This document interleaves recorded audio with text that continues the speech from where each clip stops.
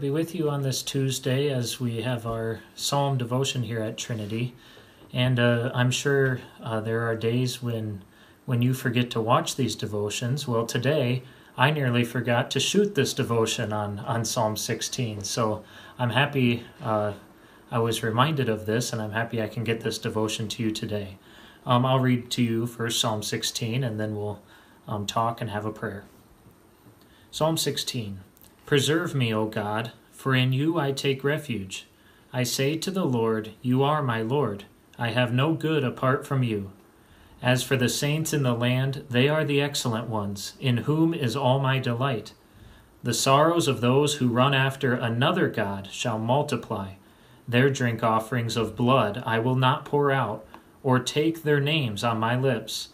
The Lord is my chosen portion and my cup. You hold my lot. The lines have fallen for me in pleasant places. Indeed, I have a beautiful inheritance. I bless the Lord who gives me counsel. In the night also my heart instructs me. I have set the Lord always before me, because he is at my right hand. I shall not be shaken. Therefore my heart is glad, and my whole being rejoices. My flesh also dwells secure. For you will not abandon my soul to Sheol, or let your Holy One see corruption. You make known to me the path of life. In your presence there is fullness of joy. At your right hand are pleasures forevermore. So, here today we have a nice uh, psalm of praise. Uh, the psalmist uh, basically de- declaring to God that when God is our God and we trust in Him and leave everything in His hands, then then life is good. Uh, that doesn't mean we get everything our flesh desires, uh, but we get everything that we know we need and everything that God has to offer.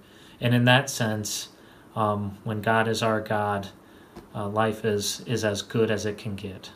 Well, let's pray that uh, uh, in light of this psalm, we might remain faithful to the one true God and find joy in the goodness uh, that we receive in Him. Let us pray. Heavenly Father, continue to strengthen our faith uh, to trust in you above all things, and give us uh, joy to know that everything that we need comes from your gracious hand, especially the grace of your Son's death and resurrection for us, uh, that we may live in eternal joy and goodness with you uh, here in this life and in the life to come.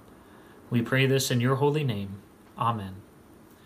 Well, God bless you here with these words of Psalm 16.